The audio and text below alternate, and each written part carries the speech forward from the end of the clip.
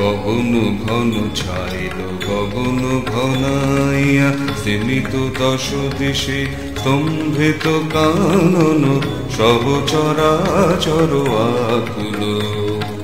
কি হবে, কি জানে? ঘোরা রজনী দিক ললনা ভয় বিভলা গহন ঘন ছাইল গগন ঘনাইয়া সীমিত দশ দিশে স্তম্ভিত কানন, সব চরাচর আকুল। কি হবে, কি জানে?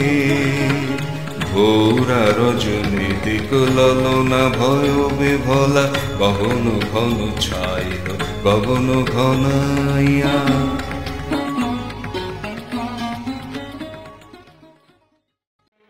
আমার এখানে মন টিকছে না। আমি আর কাজ করব না। কাজ করবে না?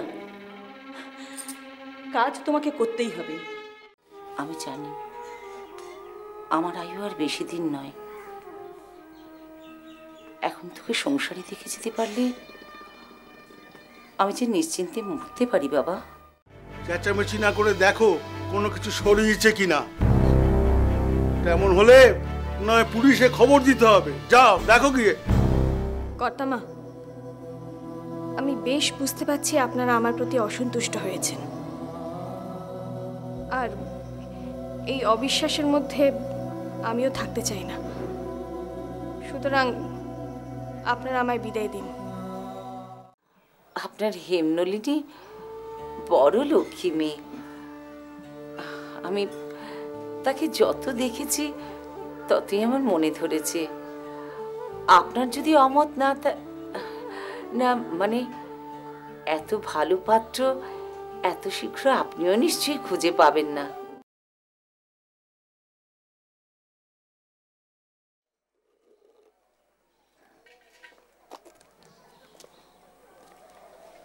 আমাকে ডাকছিলে মা? হ্যাঁ বাবা তোর সঙ্গে আমার কিছু কথা আছে। আগে বলো তোমার শরীর কেমন? সেরকম কোনো কষ্ট নেই তো? এখন হয়তো নেই কিন্তু হতে কতক্ষণ? অনিয়ম না করলে তো কোনো ভয় নেই। কিন্তু যদি অনিয়ম করো তাহলে আর শরীরের দোষ কি বলো? তোরা তো ডাক্তার। এটা তো ভালোই বুঝিস। যে মন ভালো না থাকলে শরীর কখনো ভালো থাকে না। কেন? তোমার মনে আবার কি হলো? বাবা নলিন আমি আর এই একা একা থাকতে পারছি না। আমার জন্যে নয়। তোর জন্যই বলছি। আমি কিন্তু তোর জন্য একটা পাত্রী ঠিক করেছি। তোকে সংসারী দেখে যেতে না পারলে আমি যে শান্তিতে মরতেও পারব না। সত্যি মা তুমি আমাকে পাগল করে দেবে একবারে। তা পাত্রীটি কে? কোথায় থাকে সে? সে তোর অজানা নয়। রংটা যদিও তেমন ফর্সা নয় কিন্তু আমার তাকে খুব পছন্দ হয়েছে। দাঁড়াও দাঁড়াও। রং ফর্সা নয় আমার অজানা নয়। কে? তুমি কাকে পছন্দ করেছ? অন্নদা বাবুর মেয়ে হেমনলিনী। দোহাই মা কি হলো বাবা নলি উঠে পড়লি যে? হেমনলিনীকে কি তোর পছন্দ নয়? দেখ ওর গায়ের রংটা তেমন ফর্সা নয় বলে মা আমি রং ফর্সা কি ময়লা সেটা নিয়ে মোটেই ভাবছি না। তাহলে বাধা কোথায়? বাধা আছে মা। হেমনলিনীর সঙ্গে আমার বিবাহ না না এটা কখনোই সম্ভব নয়। কেন বাবা? এতে তোমার আপত্তিটা কিসে আপত্তি আছে মা। হেমনলিনীর সঙ্গে আলাপ হওয়ার পর থেকে সে আমাকে গুরু হিসেবে মেনেছে। আমি নানা বিষয়ে তাকে উপদেশ দিয়েছি। কিন্তু তার সঙ্গে বিবাহ অসম্ভব, মা। দেখ নলিন আমি এবার তোর কোনো আপত্তি শুনব না। সে তোমার কোনো অংশেই অযোগ্য নয়। এমন ঘর, এমন মেয়ে পাওয়া কিন্তু সহজ নয়। আর তাছাড়া আমার জন্য তুই এই বয়সে সমস্ত রকম সকাল্লাদ ছেড়ে কাশিবাসি হবি? এই যে আমি সহ্য করতে পারছি না বাবা।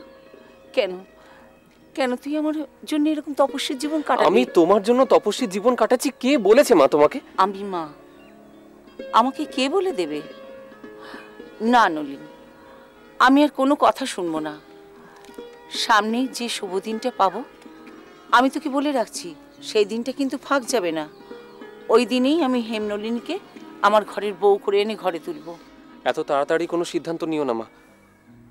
কারণ যার সঙ্গে আমার ভবিষ্যৎ জীবন জড়িয়ে আছে, সেখানে আমার মতামতের একটা দাম আছে।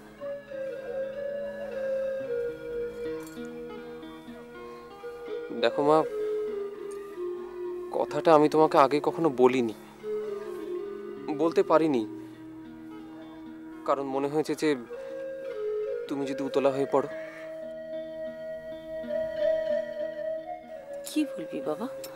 আমি তো ঠিক বুঝতে পারছি না। না মা এটা শুনে উতলা হওয়ার কোনো কারণ নেই। আমি তো তোমাকে চিনি। অমঙ্গল কেটে যাওয়ার পরও সেই ভয়টা তোমাকে তাড়িয়ে বেড়ায়। কি জানি বাবা তুই কি বলতে চাস আমি জানি না কিন্তু আমার মন যে ভীষণ অস্থির হয়ে পড়ছে বাবা। অস্থির হইও না মা আমি বলব তোমাকে সব বলব। কথা প্রসঙ্গ যখন উঠেছে তখন নিশ্চয়ই বলব। ঘটনাটা ঘটে আজ থেকে ন দশ মাস আগে। তার মানে তার মানে যখন তুই রংপুরে ডাক্তারি করতে গিয়েছিলি? হ্যাঁ মা। আমি যখন ঠিক করলাম রংপুরে ডাক্তারি ছেড়ে কলকাতায় ফিরব ফেরার সময় হঠাৎ মনে হলো যে রেলপথে না ফিরে আমি নৌকায় করে ফিরি। এবং ইচ্ছে মতন একটা দেশি নৌকাও ভাড়া করলাম। দুদিনের যাত্রার পর নৌকা এসে ভিড়ল একটা চরের ধারে। আমি ডাঙায় নামলাম।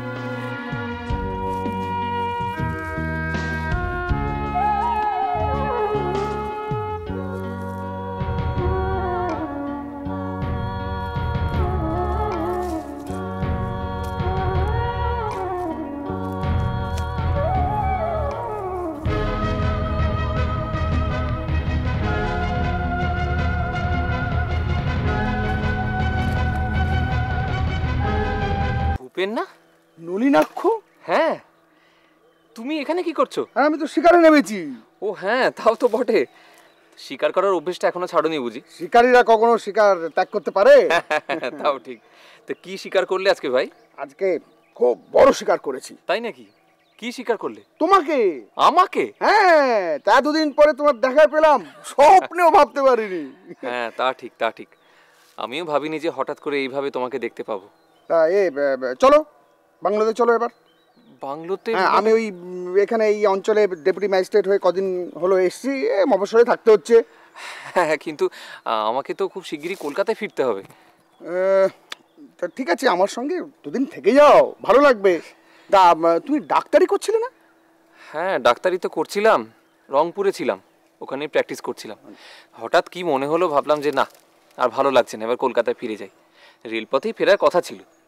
মনে হলো যে না রেলপথে না ফিরে এবার একটু নৌকা বিহার করলে কেমন হয়?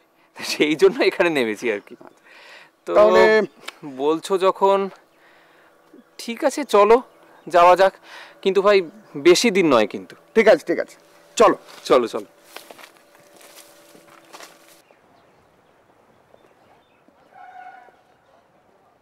তোমার তাহলে বেশ অনেক জায়গা ঘোরা হয় কি বলো ভূপেন? তা হয়। মফস্বলের কাজে বেরোলে অনেক ঘুরেই হয়। তাহলে তো মনের খোরাকটাও বেশ ভালোই হয়। তা হয়তো আছে কিন্তু আমাদের মতো ওই নিরস মানুষের জন্য নয়। এই কবি বা সাহিত্যিক হলে হয়তো হতো। আচ্ছা ভাই ওই গ্রামটির নাম কি বলো তো? ধোবা পুকুর। ওই গ্রামের তারিণী চাটুর্যের বাড়িতে একটা প্রাইমারি স্কুল আছে। ওই প্রাচীর দেওয়া বাড়িটা দেখছ? ওখানে একবার যেতে হবে। চলো যাওয়া যাও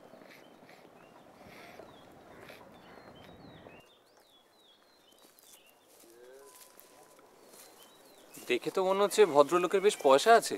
সে কথা আর বলতে অগাধ পয়সা অগাধ সম্পত্তি বুঝলে না? এই কিন্তু এত বড় কৃপণ জগতে আর একটাও পাবে না। এই যে স্কুল করার জন্য বাড়িতে জায়গা দিয়েছে সেটাও বিনা উদ্দেশ্য নয় বুঝলে না? চলো বাড়ি ভেতর চলো। তারিণী বাবু বাড়ি আছেন? কে? আরে ম্যাজিস্ট্রেট সাহেব পেন্না বই কি সৌভাগ্য আমার। তা স্যার চলুন ভেতরে না থাক থাক। এই, আলাপ করিয়ে দিই। ও আমার বন্ধু নলিনাক্ষ চট্টোপাধ্যায়। নমস্কার। আগে আহ, ডাক্তারি করতো। এখন স্বাদ হয়েছে কলকাতায় গিয়ে ডাক্তারি করবে। হঠাৎই দেখা হয়ে গেল তাই আটকে রাখলাম। তা বেশ করেছেন বেশ করেছেন স্যার। এ পুরনো বন্ধু বলে কথা তো। তা আপনার কারবার কেমন চলছে? আগে বে- আপনার আশীর্বাদে ভালোই চলছে। স্যার যদি কিছু মনে না করেন মানে আপনার সঙ্গে আমার একটা কথা ছিল। গোপন কথা? হ্যাঁ মানে যদি আপনি একটু এদিকে আসেন মানে আপনি যদি অনুমতি দেন আর কি। হ্যাঁ হ্যাঁ ঠিক আছে আপনারা কথা সেরে নিন না কোনো অসুবিধা নেই। চল চল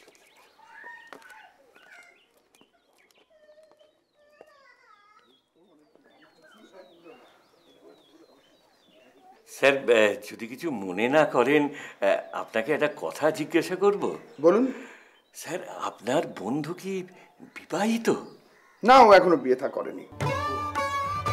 স্যার তাহলে আমার একটা ছোট্ট নিবেদন আছে আপনার কাছে।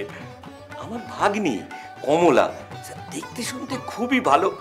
আমার নিজের ভাগ্নি বলে বলছি না সর্বগুণ সম্পন্ন মেয়ে। আপনার বন্ধুর সঙ্গে আমার ভাগ্নির যদি বিয়ের বন্দোবস্ত করে দেন তাহলে স্যার খুবই ভালো হয়। মানে কি বলব আমি কন্যাদায় হতে উদ্ধার পাই। এটা আপনাকে করতেই হবে ঠিক আছে দেখছি দেখছি। ঠিক ঠিক এবার কিন্তু আমাকে ফিরে যেতে হবে ভাই ভূপেন বেশ কয়েকটা দিন তোমার সঙ্গে কাটালাম এখানে। আর তো সময় নেই আমার কাছে। আর তাছাড়া রংপুরে প্র্যাকটিস ছেড়ে কলকাতায় ফেরা যথেষ্ট কারণও আছে। কিন্তু তোমাকে ছেড়ে দেওয়া তো আমার পক্ষে এখন একদম সম্ভব নয়। কেন? আমি আবার তোমার কি কাজে আসব? আমার কাজে নয় ওই তারিণী চ্যাটার্যের খুব প্রয়োজন। আমাকে? হুম খুব প্রয়োজন তোমাকে। কীরকম তোমার একটা সুসময় আসছে। হেয়ালি করো না ভাই বলো ব্যাপারটা কি বলো? ভয়ে বলব না নির্ভয়ে বলব। বাবা নির্ভয় বলো নির্ভয় বলো। তোমার এখন বিবাহ যোগ এসে গেছে। আমার বিবাহ যোগ? সেটা কীরকম সকালে যার বাড়িতে গিয়েছিলাম সেই মহাজনের কারবারি তারিণী চাটুচ্ছে হ্যাঁ। লোকটা খুবই কৃপণ। খেতে দিয়ে নিজের সমস্ত সুদের হিসাব কষিয়ে নেয়। গভর্নমেন্টের দেওয়ার টাকা পর্যন্ত সে নিয়ে নেয়। পণ্ডিত মশাই হাতে যায় না। সে কি? ঠিক তাই। চাটুর্য মশাইয়ের এক বোন স্বামী মারা যাওয়ার পর এই দাদার আশ্রয়ে এসে ওঠে। এখানে আসার পর এক কন্যা সন্তান হয়। সন্তান প্রসবের পর বিনা চিকিৎসা সে মারা যায়। কি বলছো তুমি ভূপেন? আরও আছে। তার এক বিধবা বোন দাদার ঘরে ঘরকন্যা সমস্ত কাজ করে ঝিয়ের খরচ বাঁচাতো জানো? কিন্তু সেই মেয়েটি কিছুটা বড় হবার পর ওই বোনও মারা যায়। সেই থেকে অনাথ মেয়েটি মামা মাম্মির কাছে দাসত্ব করে নানান অত্যাচার ভৎসনার মধ্যে বেড়ে উঠেছে। সেই মেয়ে এখন বিবাহযোগ্যা। তার পাত্র জুবে থেকে তার বাবা মাকে কেউ এখানে চেনে না? ছি ছি ছি ছি। এরা কি মানুষ? টাকাটাই সব। মেয়েটির কথা একবারও কেউ ভাবলো না। এই তো সমাজ। তারিণী চাটুর্যের তোমার সঙ্গে আমাকে দেখে তার বিশেষ মনের কথা একটা খুলে বলেছেন। তুমি আমার বন্ধু জেনে এই প্রস্তাবটা দিয়েছেন। এই দেখো দু একদিন পরেই এই প্রস্তাবটা তোমাকে দেবেন। ঠিক আছে ভূপেন। আমি ওই মেয়েটিকে বিবাহ করব। তার জন্য যা খরচাপাতি গয়না কাপড় যা যা প্রয়োজন সব কিছু আমি দেব। আর সমস্ত ব্যবস্থা তুমি করো। কমলাকে বিয়ে করতে তুই রাজি হয়ে গেলি নলিন? হ্যাঁ মা। আমি অনেকদিন আগেই ভেবে রেখেছিলাম যে একজন হিন্দু মেয়েকে বিয়ে করে তোমাকে চমকে দেব। নলিন? আমি জানতাম মা। আমি জানতাম যে আমি যদি কোনো ব্রাহ্ম মেয়েকে বিয়ে করি তাহলে তুমি সুখী হবে না। সে কথাটা ভূপেনকে বললাম। আমার কথা শুনে ভূপেন অবাক হয়ে গেল। বলিস কি নলিন তুই বিয়ে করেছিলি? সত্যি সত্যি বিয়ে করেছিলি? হ্যাঁ মা সত্যি বিয়ে করেছিলাম। ওই যে বললাম ভেবেছিলাম তোমাকে চমকে দেবো। তাহলে তোর বউ কোথায় গেল? সে আমার জীবনের এক দুঃস্বপ্নের দিন মা। এই কথা বলছিস কেন বাবা নলিন? বিবাহের ঠিক পরের দিন আমি বউকে নিয়ে নৌকায় উঠলাম। সূর্যাস্তের এক দণ্ড পরে সেই ফাল্গুন মাসে কোথা থেকে ঘূর্ণি ঝড় এসে আমাদের নৌকাটাকে উল্টে দিল? সব সব কীরকম যেন পাল্টে গেল, মা। আমার আমি কিছু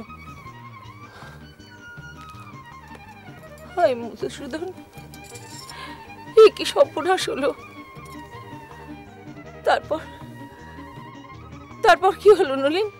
তোর বউ কোথায় গেল? জলে পড়ে থাকার কিছুক্ষণ পর সব যেন কীরকম গুলিয়ে গেল। তারপর যখন জ্ঞান ফিরল না দেখলাম যে আমি ভেসে আছি নিজেকে বাঁচাবার চেষ্টা করছি। তখন কেউ কোথাও নেই। কীভাবে যে সাঁতরে নিজেকে বাঁচিয়েছিলাম কোত্থেকে যে আমার শক্তি এসেছিল আমি কিছুই জানি না। কিন্তু তোর বউ সে কোথায়? জানি না মা। জানি না মানে? জ্ঞান ফেরার পর আমি যখন দেখলাম যত দূর দৃষ্টি যায় তখন কেউ কোথাও নেই। না কোনো নৌকা না কোনো আরোহী কেউ না। ওরে নলিন এ কি কথা শোনালি বাবা? তুই তোর বউকে নদীর জলে বিসর্জন দিয়ে এলি ওরে এই যে বোধনের আগে বিসর্জনের বাজনা বাজিয়ে দিলি বাবা। তুমি শান্ত হও মা দেখো ভগবান যা করেন তার উপর তো আমরা কিছু করতে পারব না। শান্ত হমা তারপর তুই আর তার কোনো খোঁজ খবর করিসনি? হ্যাঁ করেছি। খোঁজ করেছি পুলিশে খবর দিয়েছি। কোনো ফল হয়নি তাতে। আমারই মন্দ কপাল। তা নইলে এমন হয়? মন্দ কপাল তোমার কেন হতে যাবে মা? তুমি তো ঘটনাটা জানতেই না আজ পর্যন্ত। মন্দ কপাল যদি হয়ে থাকে তাহলে আমার। আমার একটাই দুঃখ মা যে আমি লক্ষ্মী প্রতিমার মতন বউকে তোমাকে দেখাতে পারলাম না। থাক বাবা। তার কথা আর আমাকে বলিস না। তার কথা শুনতে গেলেও আমার বুক কেঁপে কেঁপে উঠছে। আমি তোমাকে বলতে চাইনি মা। আমি জানতাম তুমি কষ্ট পাবে। কিন্তু তুমি আজ যখন আমার বিবাহের জেদ ধরলে কি করব বলো? বলতেই হলো আমাকে। তুমি বলো মা এই অবস্থায় এখন কি আমার বিবাহ করা উচিত? এ কি কথা বাবা? একটা দুর্ঘটনা ঘটে গেছে বলে জীবনে তুই আর বিয়েই করবি না। কথাটা তা নয় মা এখনও তো এক বছর কাটেনি। ধরো যদি সে বেঁচে থাকে। এ কি কথা বাবা নলিন। যদি সত্যি সে বেঁচে থাকতো তাহলে তোর খবর করতো না? জানি না মা। সে কি আদৌ আমার কোনো খবর জানে? কেন? এ কথা বলছিস কেন? কারণ আমি ছিলাম তার কাছে একেবারে অপরিচিত। সেদিন লজ্জায় বোধে আমার মুখ পর্যন্ত দেখেনিও হ্যাঁ রে তুই তোর মামার কাছে খবর পাঠিয়েছিলি? পাঠিয়েছিলাম। তারিণী চাটুর্যকে খবর পাঠিয়েছিলাম। কিন্তু দুঃখের বিষয় তিনিও কোনো খবর জানেন না। বাবা নলিন তাহলে তো আর কোনো বাধাই রইল না। অন্নদাবাবুর মেয়েকে না মা আমি মনে মনে ঠিক করেছি যে আমি একটা বছর তার জন্য অপেক্ষা করব। তারপর যদি সে ফিরে না আসে তাহলে জানব তার মৃত্যু হয়েছে। কি কথা বাবা নলিন? এত দিনেও যার কোনো খবর পাওয়া যায়নি তার জন্য আরও এক বছর অপেক্ষা করা কেন? এত তাড়াটাই বা কিসের মা? এক বছর তো দেখতে দেখতে কেটে যাবে।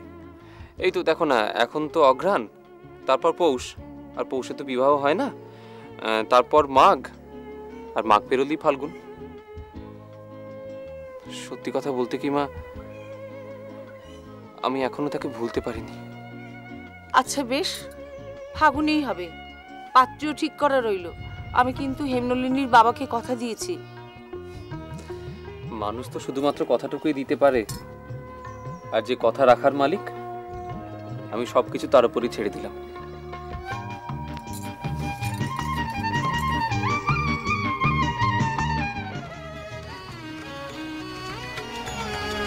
চমকে চমকে সহসাদি কয়জনে চকিতে চকিতে মাতি ছুটিল বিজলি।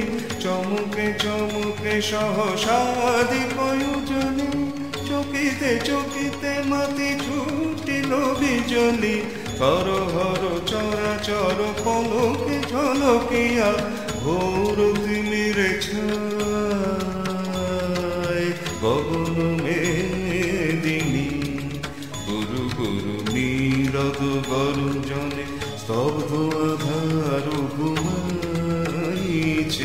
সহসায় উঠিল জেগে প্রচণ্ড সমীরণ সহসায় উঠিল জেগে প্রচণ্ড সমীরণ বড়